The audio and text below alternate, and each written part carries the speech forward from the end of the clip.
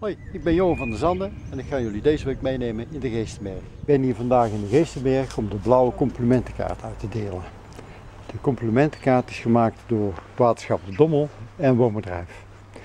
En is gewoon een steuntje in de rug voor de mensen die in hun voortuin hier en daar een steen hebben uitgehaald en daar een plant in hebben gezet, zodat het water niet meer rechtstreeks het riool in gaat, maar dat het gewoon netjes de grond in gaat.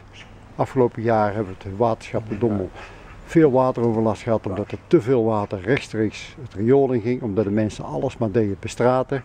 Nu zijn we hier aan het kijken of we de wijk Geestenberg een stuk groener kunnen maken. Laat me zitten, laat me zitten. Ja. Maar ik heb hem, ik heb hem weer, ja. Tegen 50 jaar, ik kleinigheid. Vandaar dat ik vandaag rond aan het gaan ben en mensen een complimentenkaartje geven. En het wordt heel goed ontvangen.